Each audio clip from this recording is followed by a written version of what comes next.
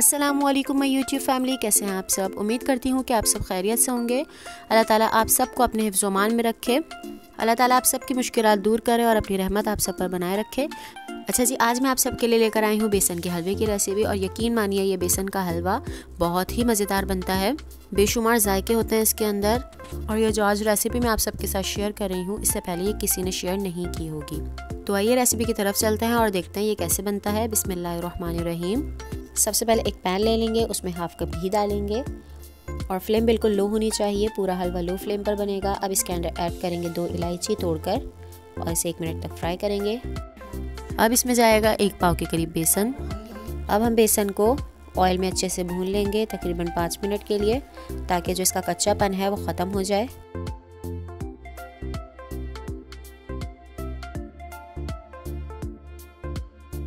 तकरीबन पाँच मिनट इसे भूनने के बाद ये कुछ इस शक्ल में आ चुका है। इसमें कोई लम्स नहीं है और ये बिल्कुल फाइन पेस्ट बन चुका है। अब हमें तकरीबन इसे पंद्रह मिनट इसमें ही पकाना है, क्योंकि ये गाढ़े से पतला होगा और फिर वापस गाढ़ा हो जाएगा। और यहाँ पर तकरीबन पंद्रह मिनट गुजर चुके हैं और हमारा जो बेसन है, वो तकरीबन गाढ़ा हो चुका है। अब हम इसमें ऐड करेंगे सूजी, जो कि हाफ़ कप है। और अब सूजी को बेसन के साथ तकरीबन पाँच मिनट तक भूनेंगे। और सूजी को हमें तकरीबन इतना भूनना है कि जो इसके सफ़ेद दाने नज़र आ रहे हैं, वो हलवे में मिक्स हो जाए। और यहाँ पर तकरीबन पाँच मिनट गुजर चुके हैं और अब सूजी हमारी हलवे में नहीं नज़र आ रही। अब हम इसके अंदर ऐड करेंगे चीनी, जो कि तकरीबन एक कप है। आप इसमें कमियाँ ज़्यादा कर सकते हैं, लेकिन ये बिल्कुल नॉर्मल है इस हलवे के लिहाज से। और अब हम बेसन को इतना पकाएँगे कि ये जो चीनी है, वो इसमें मेल्ट हो जाए और ये गाढ़े से पतले की तरफ़ चला जाए। यहाँ पर तकरीबन जो चीनी है वो मेल्ट हो चुकी है और इसका मिक्सचर भी थोड़ा सा पतला हो चुका है। और इस प्रोसेस में तकरीबन तीन मिनट लगे हैं और अब हम इसमें ऐड करेंगे दूध। यहाँ पे तकरीबन आधा किलो दूध इसके अंदर गया है थोड़ा थोड़ा कर कर थोड़ा थोड़ा दूध इसमें डालते जाएँगे और इसे मिक्स करते जाएँगे। कुछ लोग इसके अंदर पानी भी डालते हैं, लेकिन दूध से बहुत अच्छा फ्लेवर आता है। यहाँ पर थोड़ा थोड़ा दूध डालते जाएँगे और इसे अच्छे से मिक्स करते जाएँगे ताकि इसमें कोई लम्स ना रहे। और यहाँ पर फिर थोड़ा सा दूध डाला है। मैं एक एक कप करके डाल रही हूँ।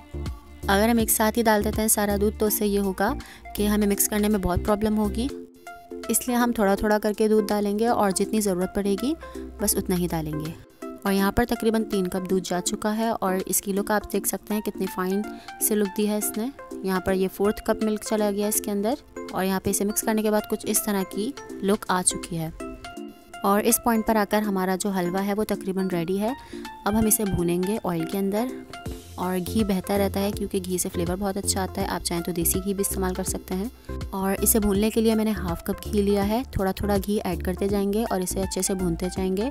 और जो भूनते वक्त की इसकी फ्लेम होगी, वो नॉर्मल होगी मतलब मीडियम फ्लेम पर भूनना है। ज़्यादा तेज़ भी नहीं होगी और बिल्कुल हल्की भी नहीं होगी।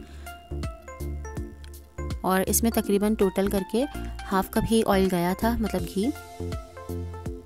और इसकी पहचान ये होगी कि जो आपका हलवा होगा, वो पैन को छोड़ देगा और आपस में एक दूसरे के साथ मिक्स हो जाएगा मतलब एक हो जाएगा। और इसमें भी तकरीबन दो से तीन मिनट लगेंगे और आप यहाँ देख सकते हैं कि हलवा कितना फ़ाइन हो चुका है और आपस में मिल रहा है और पैन को छोड़ रहा है। और यहाँ पर जो है, हलवे ने पैन को बिल्कुल छोड़ दिया है। और आपस में एक हो गया है मतलब यकजा हो गया है। इसका मतलब हमारा हलवा यहाँ पे बिल्कुल रेडी है और अब हम इसे सर्व करेंगे। आप देख सकते हैं, माशाल्लाह, कितना खूबसूरत हमारा हलवा लग रहा है। और यकीन मानिए फ्लेवर में भी बहुत ही ज़्यादा मज़े का बनेगा। उम्मीद करती हूँ कि आपको मेरी ये रेसिपी पसंद आई होगी। इस रेसिपी को ज़रूर ट्राई कीजिएगा और मुझे फीडबैक दीजिएगा कि आपको ये मेरी रेसिपी कैसी लगी। और इसकी डेकोरेशन या फिर गार्निश करेंगे हम ड्राई फ्रूट्स के साथ, जिसमें बादाम, पिस्ते और अखरोट हैं।